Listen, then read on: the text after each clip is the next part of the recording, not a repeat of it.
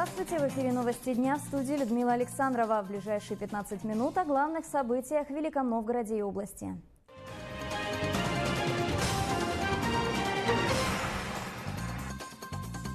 Вынужденная мера. Школе номер 4 в Великом Новгороде нужен срочный капремонт. На время работы учреждение будет закрыто, а учеников временно переведут в соседние заведения.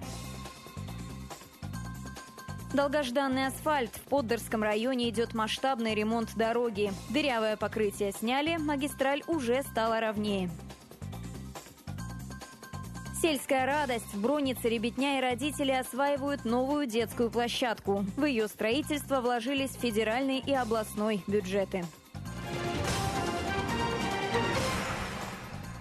Российские учителя принимают поздравления с профессиональным праздником. Новгородская педагогическая элита и ветераны школьного фронта были сегодня приглашены на торжественный прием в филармонии. Региональная учительская в цифрах – это почти 5 тысяч работников, рост общей численности учеников в последние годы и средняя зарплата более 26 тысяч рублей. Но каждый знает, в эту профессию идут не за большими деньгами, а по призванию. Любовь к детям, своему предмету и постоянной проверки себя на прочность – вот качества, без которых долго у доски не простоишь. Каждый год новгородские педагоги предлагают оценить результаты своего труда конкурсной комиссии областного состязания профессионального мастерства. Жюри выбирает лучших в номинациях «Учитель года», «Воспитатель года», «Учитель здоровья», «Руководитель образовательной организации». И каждый участник конкурса согласится. Эта проверка не столько ради себя, сколько для детей. Учеников очень много, все они такие разные, интересные, смешные. И у меня и пятый класс, и восьмой, и одиннадцатый. То есть надо все время думать и быть в напряжении, в приятном причем, потому что с ними очень интересно работать с детьми.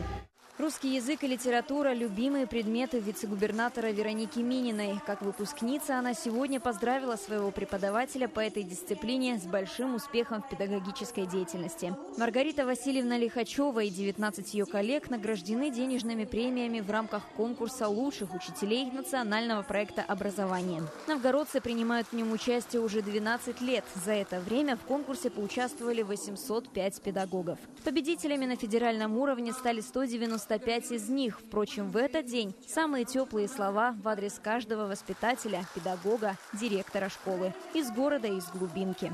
Я славлю вас, учителя. На вас ведь держится земля. Эти строчки написала моя мама для вас. Вчера я говорю, мам, я должна поздравить самых лучших, самых уважаемых учителей нашего города, нашей области. Порядка 10 тысяч людей заняты в отрасли образования в нашем регионе. И вы знаете, в вашем лице я хочу поздравить их всех с этим праздником. Наряду с теми, кто сейчас работает с детьми, поздравления принимают и ветераны профессии, а также молодые специалисты, которым только предстоит войти в классы. Стоит отметить, что в регионе все еще остается некоторый дефицит в учителях математики, физики, химии, иностранных языков и мастерах производственного обучения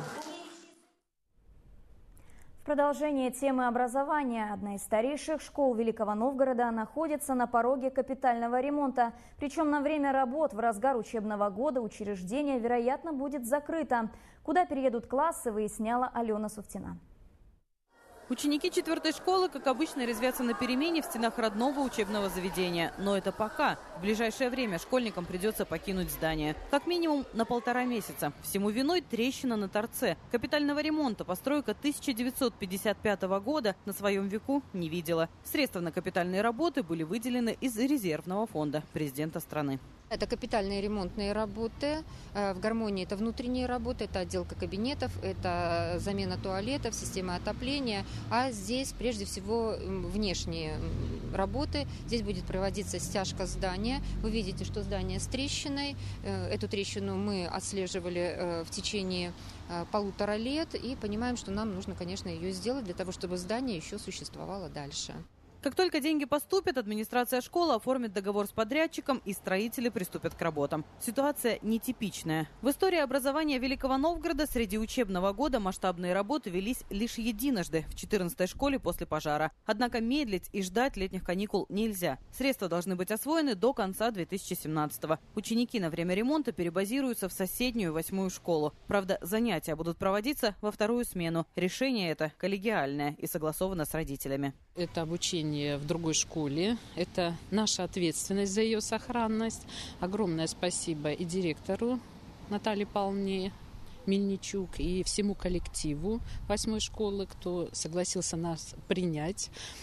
И, конечно, это ответственность наша, потому что после ремонта э, нужно будет кабинеты приводить в порядок, наводить чистоту качестве альтернативы рассматривались также 16-я и 36-я школы, но территориальная близость сыграла главную роль в выборе. Впрочем, для родителей, кого не устраивает вторая смена, есть варианты дистанционного и домашнего обучения. Желающие уже нашлись. Алена Сутина, Савва Ушаков, Новости, Новгородское областное телевидение.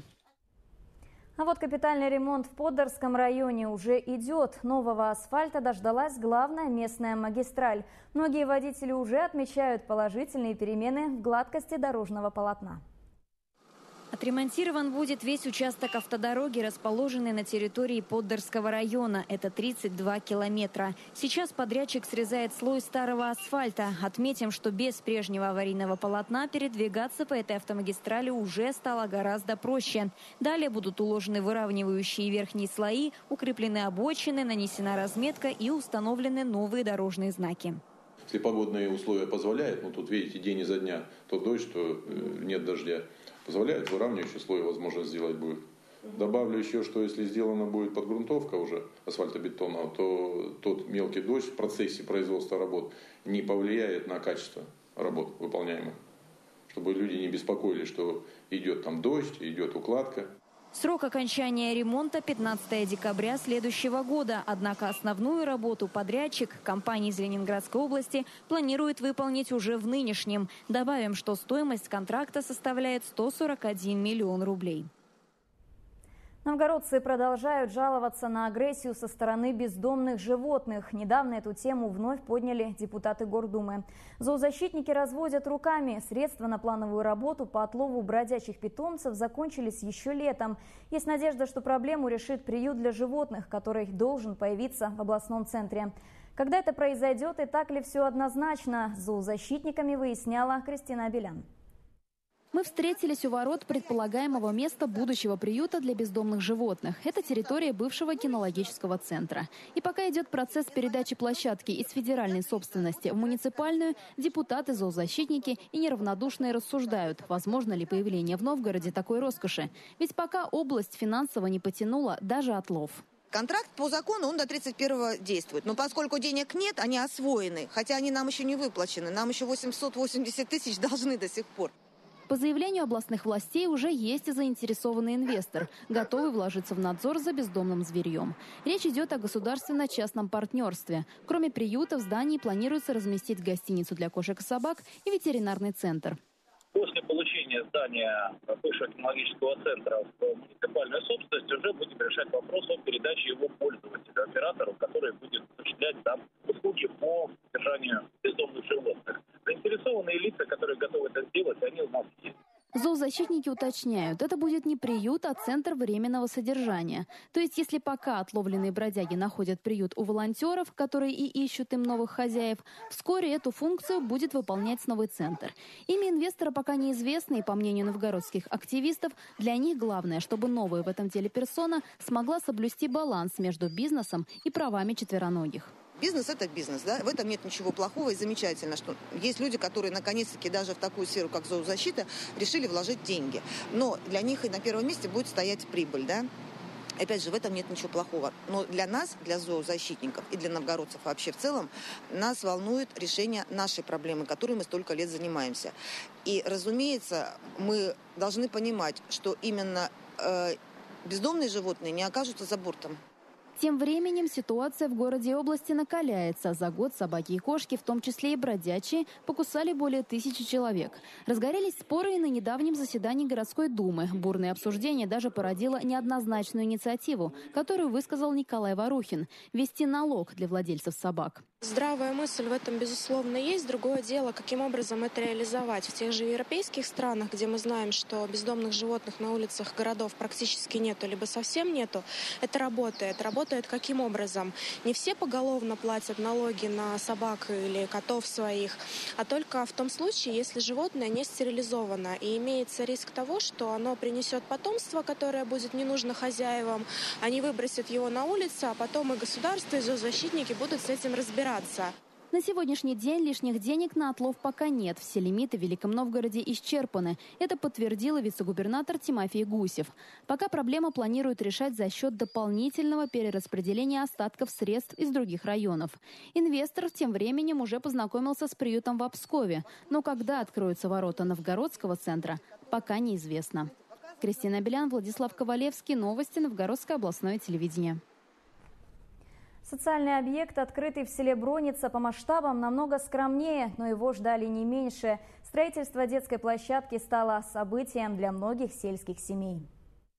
О необходимости появления такой детской спортивной площадки в селе неоднократно говорили местные жители. Водить детей в существующий в Бронице физкультурно-оздоровительный центр не всегда есть время и, самое главное, возможность. А малыши вырастают из песочниц, и им где-то надо заниматься спортом. Свои пожелания жители оставили на портале «Вечевой колокол». Но к тому моменту местная администрация уже прорабатывала этот вопрос. Были получены деньги из федерального и областного бюджетов. Недостающую часть выделил спонсор – а потом началась по-настоящему народная стройка. Конечно, огромное спасибо нашим всем жителям. Жители приходили от мала и до велика. И как только привозил, завозился какой-то материал, все мы писали объявление, что сегодня мы что-то начинаем делать. Все приходили, принимали участие. Это очень приятно. Планировалось, что работы по устройству площадки будут выполнены к 1 октября, но всем миром их закончили раньше, 25 сентября. Мы очень рады, что у нас появился такой спортивный комплекс, потому что дети теперь у нас заняты. Как видите, вот мы со школы идем сразу же сюда заниматься. Дети заняты, спорт – это здоровье. Поэтому хотелось бы, чтобы в нашем селе появилось как можно больше таких площадок. В следующем году администрация поселения планирует участвовать в программе формирования комфортной городской среды и на федеральные деньги построить детскую площадку в парке у Броницкого дома культуры. К этому часу все. Интересная информация вы можете поделиться по телефону нашей редакции 70 30 03. Впереди реклама и прогноз погоды о развитии событий в наших вечерних выпусках. А я прощаюсь. Всего доброго и до встречи.